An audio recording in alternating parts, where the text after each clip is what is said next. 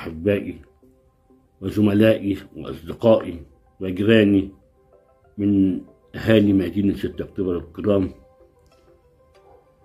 آه، وفي كل مكان في جمهورية مصر العربية وخارجها يسعدني جدا أن أكون معاكم في الحلقة الثالثة من حكايات عن مدينة 6 أكتوبر. الحكايات, كل يوم كتيرة وكل يوم بتزداد في رأيي الشخصي. وعلى حسب الكومنت بتاعكم اللي بيجي لي على الخاص إنها ناس مبسوطة إنها تعرف تاريخ مدينتهم. النهاردة هي حقيقي حلقة مميزة جدا.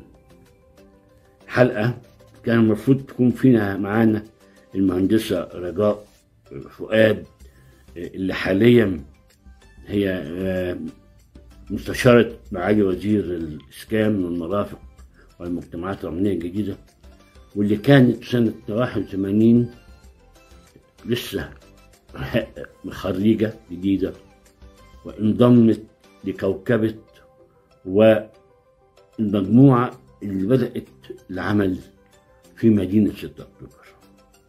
لكن بحسن أخلاقها وأدبها قالت لي لا أنا ما أقدرش أطلع قبل ما أستاذي ومعلمي ورئيسي المهندس حسن عبد المتعال ما يطلع ويحكي الأول عن بدايات مدينة 6 أكتوبر. وبعدين أنا معاك في حلقات تانية. أنا احترمت رأيها واحترمت آه، هذا الشعور الطيب منها ومنه. هتسمعوا دلوقتي منه هو قال إيه. الحقيقة اللي حصل إن إحنا سجلنا مع باشمهندس حسن صوت وصورة. لكن كان هو مديني حديث قبلها بيوم أنا شفت واستأذنت إن هو ده اللي هيتذاع. هو بالصوت بس. لكن معاه مجموعة من الصور الرائعة.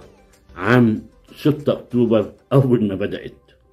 أول جهاز مدينة كشك الصحراء حواليه إيه.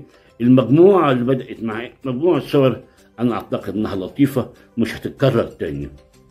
آه الحقيقة من النهاردة من الحلقة ديت أنا بطلب منكم طلب.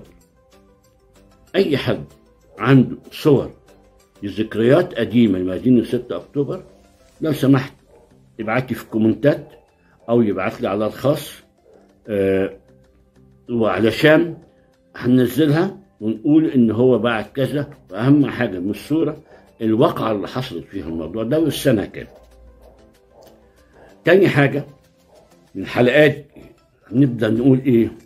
زي ما إحنا قلنا. أنا قلت في أول حلقة إن هنحصل للماضي بالحاضر.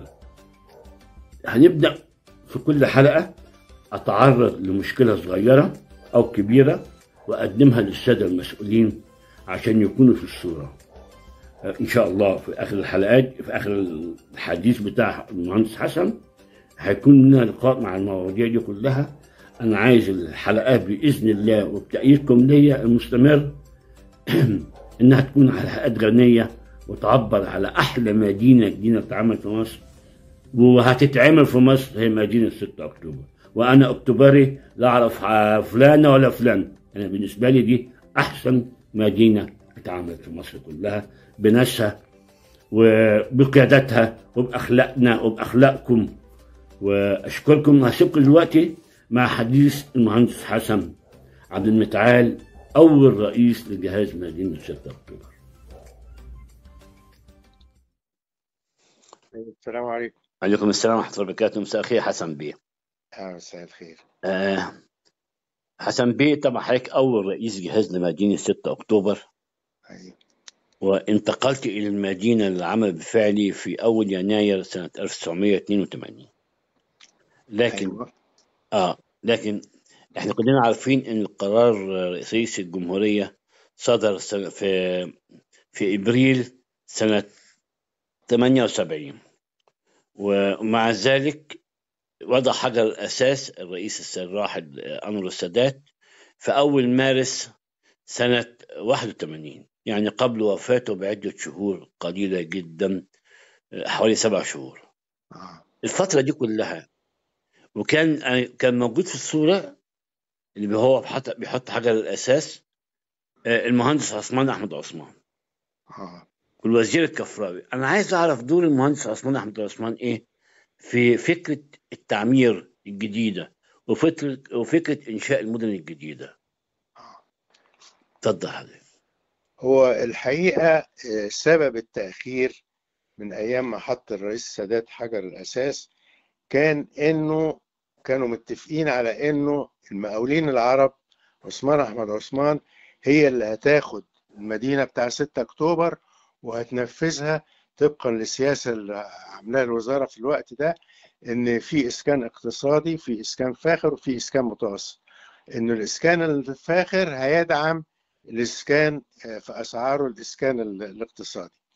لكن الموضوع ده ما مشيش. بعد ما كانوا ال- المقاولين العرب عملوا جمالهم بتاع الاستراحة اللي على طريق الواحات ليهم هم. وانتقل ال- ال- العمل إلى وزارة التعمير هيئة المجتمعات إن هي تقوم ببناء ال- المدينة. وتعينت أنا في تقريبا في في في يوليو سنة 81 ورحنا الموقع زي ما بقول لحضرتك أيوه. في آه يعني حضرتك اتعينت بعد وضع حجر الاساس آه, آه. اتفضل. بعدها بشهرين ثلاثة كده. آه. لأن هم ما وضعوا حاجة الأساس كان على إن المدينة هيقوموا بها المقاولين العرب. هو حجر الاساس اتوضع 1 مارس آه، 81 مظبوط مم. مظبوط. فلما انتقلت لهيئة المجتمعات إن هي تقوم بيها فكان في تأخير يمكن حوالي سنة ونص أو سنتين في في في مداولات وعشان يرسوا على آه، أي طريقة هي- هيبنوا بيها المدينة. لما إحنا ابتدينا بقى رحنا ال- الكشك اللي كان ال- الهيكل الخرساني الهيكل المعدني اللي كان عامله المقاولين العرب بقى شطبناه إحنا عن طريق شركة مختار إبراهيم وبقى مقر الجهاز. آه، الكلام ده سنة آه، واحد واحد اتنين وتمانين رحنا وابتدينا العمل في المدينة. لكن ال- ال- الحدوتة من الأول بقى من هذا المكان اللي هو عبارة عن الكشك اللي في مختار إبراهيم اللي عند محطة المياه الميه اللي على طريق. الواحات أمام آه، الحي المتميز. تمام. اتفضل. آه، ال ال ال الوزير عثمان أحمد عثمان كان اتعين آه، و- وأنشأ وزارة التعمير سنة 1974 أيوه. وابتدى من الوقت ده أنشأ عدة أجهزة لل- للإنشاء. نمرة واحد كان ال- ال- المهمة العاجلة اللي هو إعادة بناء مدن القناة الثلاثة لأنها كانت اتدمرت. أيوه. يعني السويس على سبيل المثال كان التدمير 90% فيها. أيوه.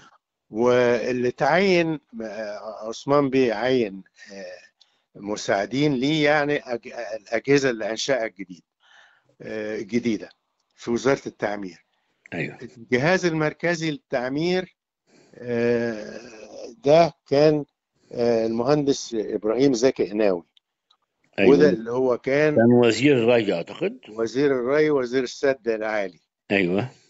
فده كان الجهاز المركزي للتعمير وعمل اللجنة الاستشارية للتعمير برئاسة الدكتور حسن مرعي. أيوه. وعضوية المهندس سليمان عبد الحي والأستاذ نبيه يونس والمقرر بتاعها كان المهندس علي سالم حمزة من المقاولين العرب. أيوه. ابتدوا بقى في آه، دراسة آه، ابتدوا الأول في تع- تعمير مدن القناة. تعمير مدن القناة اللي هو عمله الجهاز المركزي التعمير آه، ده الحقيقة كان إعجاز يعني معجزة أشاد بها العالم كله لأنها تمت في وقت قصير جدا وكان الموجودين في في القناة يعني من آه، المهندسين بتوع جهاز المركزي للتعمير أيوه. بعد كده جت اللجنة الاستشارية للتعمير اللي هي برئاسة حسن مرعي وابتدت تحط الدراسات للمدن الجديدة والبداية كانت بالمدينة العاشر من رمضان. أما حطوا ال- الدراسات دي كان الحقيقة إحنا خبرتنا في التعمير عمرنا مدن القناة قعدنا قعدناها في وقت قياسي آه، سنة ونص تقريبا شاركت فيها فندم؟ لا. ال- إحنا ال- بنتكلم إحنا كمصريين يعني كمصريين فقط اللي عملناها وكان اللقاء اللي فيها ال- الرئيس الجهاز وقتها آه، جهاز تعمير مدن القناة اللي هو آه، اللي هو محمد متولي شاهين. أيوه.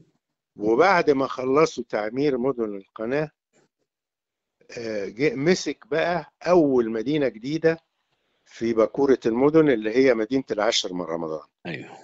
اللي هو مح- محمد متولي شاهين. ده سنة 78 سنة 78 أيوه. فعلا. آه، الجهاز المركزي ال- ال- اللجنة الاستشارية للتعمير بقى عملت دراسات آه، على المستوى الن- الناشونال القومي والمستوى الإقليمي والمستوى المحلي. بحيث إن هي يعني من آه، التخطيط القومي لل- لل- لل- للجمهورية ككل ينشأ آه، ينقسم لست مناطق تعميرية منها منطقة القناة ومنطقة الساحل الشمالي ومنطقة آه، الصعيد ومنطقة آه، ال- الواحات. وكل واحدة منهم فيها آه، جهاز للتعمير. آه، يبتدوا المشاريع دي.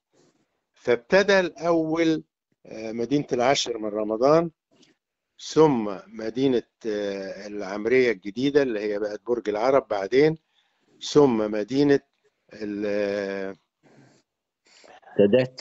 مدينة لا مدينة السادات آه سادات. ومدينة آه، ومدينة آه، 15 15 مايو. مايو. 15 مايو. دول قبل ال 6 أكتوبر. بعديهم بقى 6 أكتوبر جت في آه، منتصف آه، سنة 81 وابتدى العمل فيها في واحد واحد 82 آه، كان الفكرة الحقيقة اللجنة الاستشارية للتعمير الحقيقة عملت عمل رائع أن عملت دراسات للجمهورية ككل.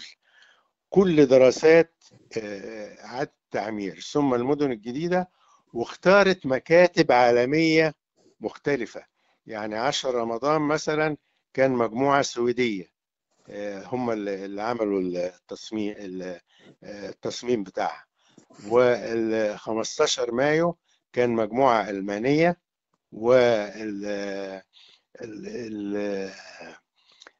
ال- الساحل الشمالي آه، كان آه، شركة هولندية مجموعة هولندية و6 أكتوبر ابتدت كمجموعة آه، مصرية. يعني هيئة التخطيط العمراني وما كانش فيها أي حد أجنبي. يعني دي كان بداية إن إحنا نشتغل كمصريين بعد ما خدنا الخبرة آه، من الأجانب إن إحنا نبتدي أول مدينة جديدة معمولة تخطيط مصري آه، 100% بدأ تخطيطها إمتى يا فندم بالظبط؟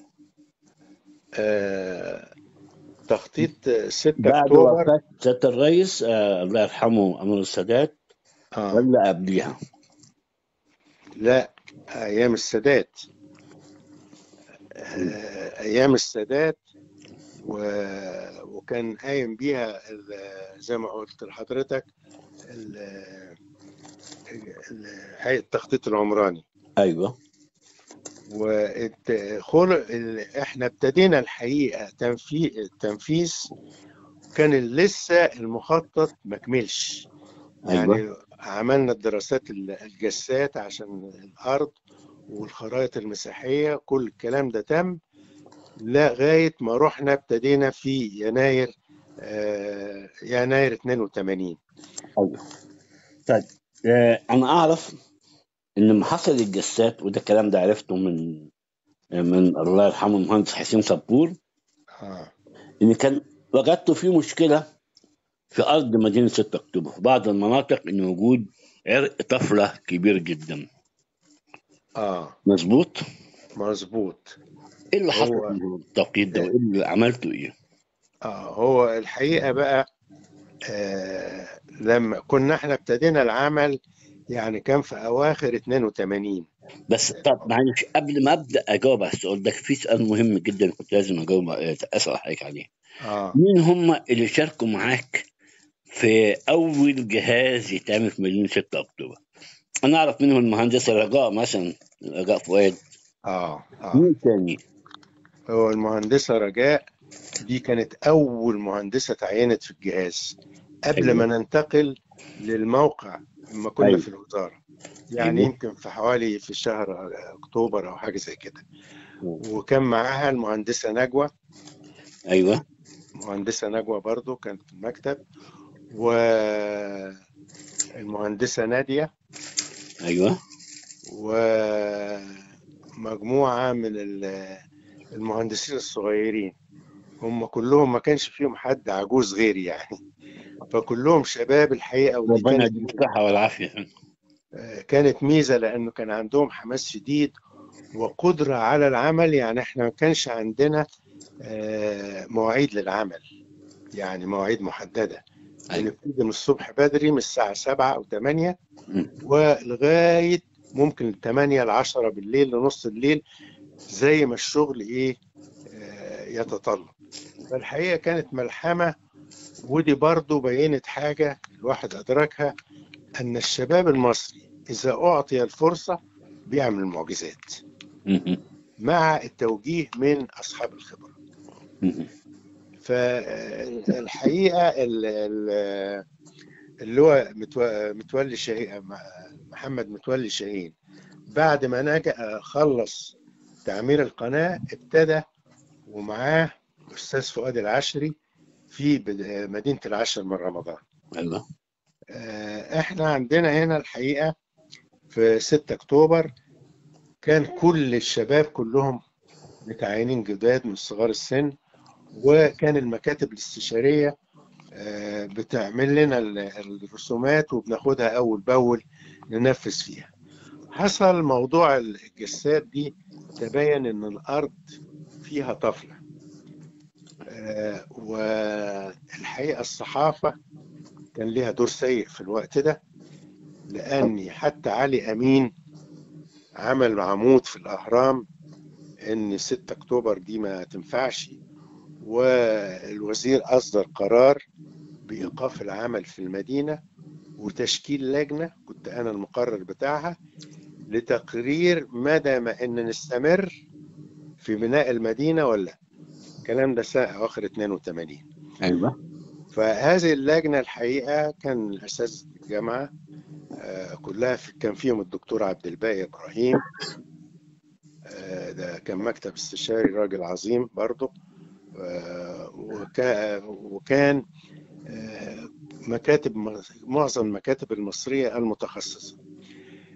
انتهينا في التقرير ده ان هو ها الأرض اللي موجودة فيها عرق طفلة ودي موجودة في معظم إن لم يكن جميع الأراضي الصحراوية. فيها الطفلة دي بنسبة بس 6 أكتوبر كان فيها يمكن بنسبة زيادة شوية. فعملوا تصميم على إن يتعمل إحلال للتربة 2 متر كده ي- يشالوا ويتعملوا رملة وبعدين تتعمل أرض لبشة وتقوم عليها المنشآت. واستأنفنا يعني كان العمل وقف في المدينة حوالي أسبوع أو عشرة أيام وبعدين اللجنة حطت تقريرها إنه ممكن الاستمرار بالبريكوشنز دي بالإضافة لأنه كانوا برضو اكتشفوا خط سومد كان ماشي في الحي المتميز وده موجود لغاية دلوقتي. طبعا. فتعمل له حرم. مم. يعني مشكلة خط السومد ده اتعمل له حرم. آه، ممنوع المباني فيه. والأرض الطفلة دي تمت آه، معالجتها واختيار أسلوب مناسب. طيب. وثبت إن الأسلوب المكاتب الاستشارية المصرية اللي اتعمل إن مدينة 6 أكتوبر يعني أقول لك حاجة في زلزال 92 لو حضرتك تذكر. طبعا ده بس زلزال حضرتك. 92 أقل خسائر كانت في مدينة 6 أكتوبر. رغم إنها كانت أسوأ الأراضي فيها عيوب الطفله آه. لكن كان أقل الخسائر في مدينة 6 أكتوبر. وأنشأنا الحقيقة اللي كان ساعدنا معهد بحوث البناء كان جاب آه، عمل آه، آه، وجود للمركز هناك. والحقيقة مشيت العملية آه، بسلاسة ومشيت بنظام علمي مظبوط. وقامت المدينة لغاية ما افتتحها الرئيس في 2000 في 1985 85 في 13 اكتوبر في 13 أكتوبر. كنا في الوقت ده كنا أنجزنا ثلاث أحياء. الحي ال- دقيقة واحدة هنقف هنا بس ثانية واحدة. هسأل سؤال قبل ما نسيبه. آه. دور الصحافة إيه في موضوع غرب صمت؟ مدينة 6 أكتوبر على إيه؟ على جمر من النار. المنشطات كان كده. كحضرتك عملت إيه في التوقيت ده؟ ما بقول لحضرتك التقرير ده الحقيقة آه كان. أنت عارف الصحفيين يحب يعمل فرقعة. أيوه. آه فعلي اللي كان بيكتب العمود مش فاكر علي أمين ولا مصطفى أمين العمود اللي في الأخبار. مصطفى بعد مصطفى. علي أمين. أه. هو ده بقى اللي كتب يعني وكان في واحد صحفي تاني مش عايز أذكر اسمه يعني عمل صفحة في جريدة الأهرام عن إزاي إن الموقع ده ما ينفعش و... و... وال... لدرجة إن ده أثر على حتى اللي عاملين في الجهاز عندي ابتدى كل واحد يدور على مكان يروح. إنما لما شكل الوزير ال- ال- اللجنة دي تاخد القرار تكاري اون نستمر ولا لأ وخدت القرار نستمر مع يعني بعد إذن حضرتك بس ال- اللجنة شافت موضوعين موضوع الطفلة وموضوع أيوة. خط غرب الصمد مع بعض. بالظبط بالظبط أيوه. واختارت الأسلوب الأمثل لل... لل... لعمل الأساسات وإن هي ال... ال... بنعمل إحلال وبتتغرق التربة مية واحلال بالرملة وب... وبتمشي الأمور عادي. ودي ثبت من الزلزال إن إحنا فعلا امن مدينة واتعملت أسلوب علمي آه، جميل جدا.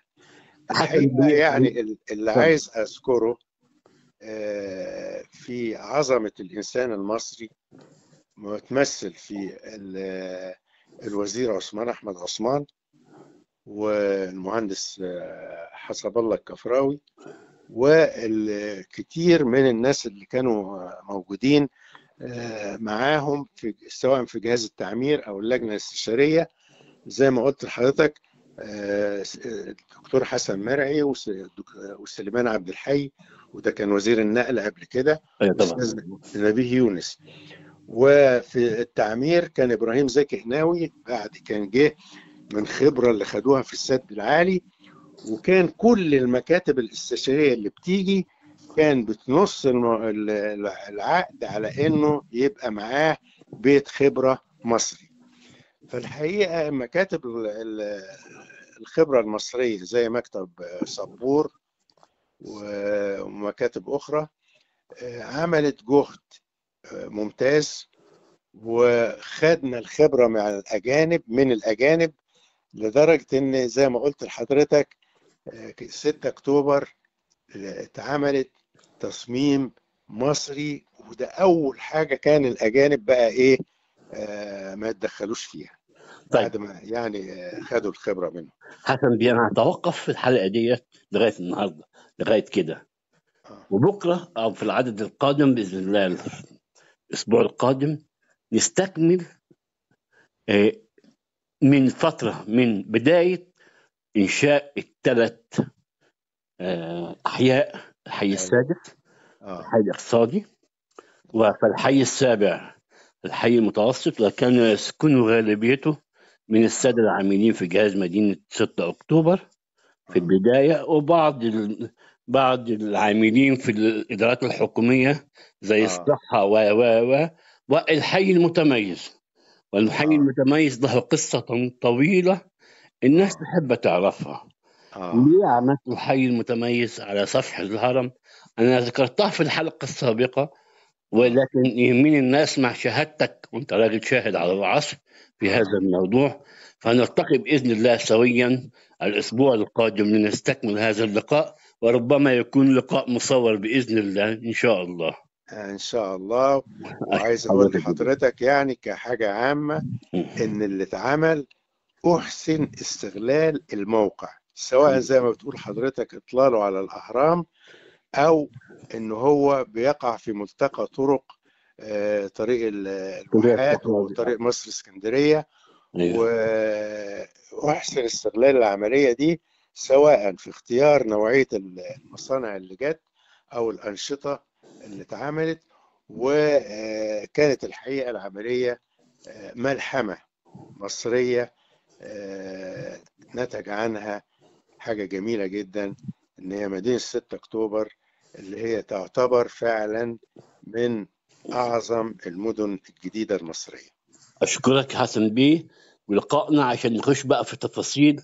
من سنة 82 ل 85 لوجود سياده الرئيس لأول مرة في مدينة 6 أكتوبر حسني مبارك آه. بافتتاح المدينة. وحضرتك حضرت الزيارة. وزي ما أنا شايف دلوقتي معانا الجمهور هيشوف صورتك مع الرئيس المبارك وأنت بتسلم عليه. في هذه الزيارة. وعايزين نعرف بقى إيه اللي تم من 82 ل 85 إيه مين المصانع اللي جات لك عشان تنشئ الأول؟ وأكيد كان في مواقف طريفة ومواقف جدية جدية نحب نسجلها للتاريخ. أشكرك يا حسن بيه. شكرا جزيلا وربنا يديك الصحة والعافية يا حبيبي. شكرا. العفو أنا اللي شاكر لحضرتك جدا. مع, مع ألف سلامة. مع يسلمك. سلامة الله. مع السلامة. الحقيقة زي ما شفنا قد إيه المقابلة كانت عظيمة ومهمة جدا. مقابله مع أول رئيس جهاز مدينه 6 أكتوبر المهندس حسن عبد المتعال وذكريات طويلة امتدت لحوالي أكتر من من سنة 80 وهو موجود معاهم آه، يعني داخلين في الأربعين سنة. وراجل حضر تأسيس هذه المدينة وله الفضل وأحلى حاجة قالها النهاردة وعجبتني جدا. ويا ريت الناس المسؤولين كلهم يحسوا نفس الإحساس إن الشباب هم الطاقة هم الأمل وهم الحقيقي اللي بيزرعوا آه، ال- الأمل في بكرة إن يكون أحسن من النهارده. وإذا كان ده نموذج جيد جدا وممتاز لشبابنا فالحقيقة النهاردة أو أصح من يومين المهندس عادل النجار رئيس جهاز المدينة ومجموعة العمل اللي معاه مساعدين النواب بتوعه آه، مع بعد تشكيل شركة إزالة المخالفات لأول مرة يقتحموا بهذه الشدة آه، الحي السادس. علشان يتصدروا لأكبر مخالفة عشوائية موجودة المدينة كلها وهي تحويل الشقق السكنية بالدور الأرضي إلى محلات. كان الواحد بيروح يشوفها سواء في السادس أو في ال 12 أو في ال 11 بيتخض النها- م- بدأوا فعلا يتصدروا زي ما هنشوف دلوقتي في الفيديو والصور للحي السادس دي بداية تصدي لجميع المخالفات الموجودة في المدينة. ودي كانت خطوة اتأخرت كتير لكن الحمد لله إنها جت وبدأت. صورة سلبية أخرى. معلش. إذا كانت صورة ال- الحي السادس وما تم فيه إيجابية جدا وما شفناه من عم حسن عبد المتعال أو سمعناه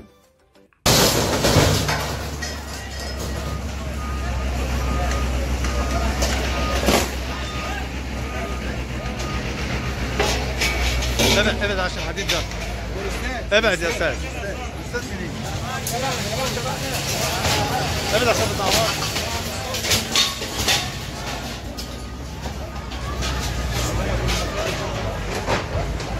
ما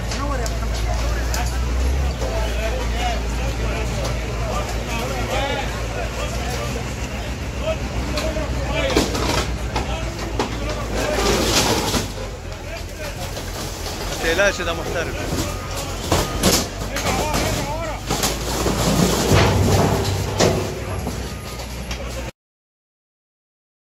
شيء إيجابي جدا. لكن هل يا جماعة ينفع إن بعد المصاريف اللي بتصرفها الحكومة دي كلها على إعادة رفع كفاءة الحي المتميز ورصف الشوارع بتاعته إن يجوا ناس للأسف هم موجودين من المدينة من زمان ومنهم بيشتغلوا في وظائف بسيطة في الجهاز يغسلوا العربيات ويستخدموا كمية المية اللي إحنا بنتنشأ عليها اللي إحنا بنحارب عليها اللي إحنا واقفين لأثيوبيا عليها عشان يملوا بيها الشارع كده. الأسفلت المعمول ده أكتر حاجة تفسده هي المية. طب إن بقطع عيشك أبدا إطلاقا. جردل وأنا نبهت كذا مرة ليهم شخصيا. أنا ما بقولش الكلام ده دلوقتي لا أنا نبهت كتير ليهم. جردل ومعاه فوطة. مسح العربيات لكن بالطريقة البشعة اللي هتشوفوه الأرض دلوقتي هوريكم الصورة. آه، وده كان بيتم قبل الفجر على طول. هوريكم الصورة. قد إيه الشارع مليان مية؟ ده حرام. بجد حرام. على جميع المستويات. ولازم جهاز المدينة يتخذ من الصبح آه، تنفيذ أي قرار كان موجود بغرامات أو أي حاجة. لا ما كناش هنقف ونتصدى ده أهم من إن إحنا نفتح المحلات أو لأن المحلات موجودة هتشاف أي وقت. لكن انقذوا ما تم آه، سفلته. واتصرف أنا عارف انه صرف مبالغ مهولة بالمليون بالمليون جنيه. يعني قربت من 80 مليون جنيه أو أكثر عن الحي المتميز لغاية دلوقتي. ومثل للاسف الشديد أنا يعني يعني مش عارف ليه. في مكان معمول في الرصيف اللي في النص قدام بنك ال CIB شارع النجيب محفوظ عشان يعدي منه الناس كبار السن. وال handicap ذوي الاحتياجات الخاصة أساسا هو اتعمل وحش جدا سيء للغاية وأنا هفرجكم على الصورة دلوقتي هل ممكن يكون ده مكان يتعمل من أربع شهور أو من ثلاث شهور هل ممكن تتصوروا بعد سنة هيبقى شكله إيه؟ أنا عايز برضه بسأل سؤال هو ده معمول ببلاش ولا من فلوسي ومن فلوسكم كلكم؟ حرام علينا اتمناش طبعا إن يكون ما حدش يقول لي أصل لسه هيعيدوا عليهم والحاجات دي إحنا ما استلمناهاش وملزمين هم يشيلوها. ده مثل مش حلو. وشأن نجيب محفوظ. ليه ما انتهاش؟ ليه خد الوش الأولاني ووقف وسكت؟ حد يرد علينا يا جماعة. لو سمحتوا آه، السادة آه، المشاهدين السادة السكان اللي عنده أي مشكلة ممكن يكتبها في التعليق تعليقات تحت. والأهم من ده كله اللي عنده صور قديمة للمدينة وفيها ذكريات يا ريت يبعتها لي. يا إما يكتبها تحت يا إما أنا هسيب لكم آه، أنا موجود على الماسنجر بتاع الفيسبوك موجود في مكتبي في في المحور المركزي سادس برج بعد الحصري وتاني برج بعد البنك العربي. مكتب ألف للتسويق الإعلامي وشركة آه، وجريدة أخبار أكتوبر. ابعتوا لنا أي حاجة وهنكتب عليها اسمكم وهتنزل الاسم ده مهداة من فلان الفلاني. آه، إحنا على رأي الأخ العزيز الأستاذ محمود برعي لما بيقول لي في التليفون ده هو آه، رئيس آه، مجلس أمناء المدينة وعضو مجلس إدارة جمعية المستثمرين. قال لي اوعى تفتكر اللي بتعمله ده بتاعك. لا ده بتاعنا كلنا. المدينة دي بتاعتنا كلنا وإحنا شركاء في هذا العمل وفي هذا التاريخ. ولو عايز أي حاجة أنا ممكن أقدمها معاكم مش هتأخر.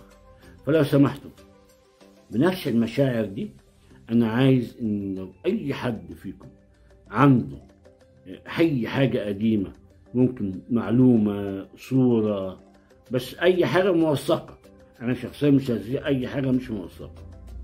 يسعدنا جدا سواء من عند نادي أكتوبر أو من جمعية المستثمرين بتاع 6 أكتوبر أو أي أنا عارف يعني في كمان هندخل أول امرأة آه، خل... ولدت هنا في 6 أكتوبر بعد مكتب الصحة ما اتعمل وأول واحد اتأيد في مكتب الصحة. وكانت أول أم مثالية تظهر للعمرة. آه، هي جت سنة 88 وحصل الولادة في 88 كانت أول ست تتكرم وتظهر في العمرة لأنها أم المثالية الأولى لمدينة 6 أكتوبر بالولد اللي خلفته. آه، وأول سجل اتسجل في مدينة 6 أكتوبر الذكريات كتيرة ومؤسسات كتيرة. وبنشارك كلنا في هذا العمل. إن شاء الله إن شاء الله إن شاء الله يكون عمل خير وهبناه كلنا لوجه الله سبحانه وتعالى. وأشوفكم بإذن الله في اللقاء القادم بإذن الله الأسبوع القادم. السلام عليكم تصبحوا على خير.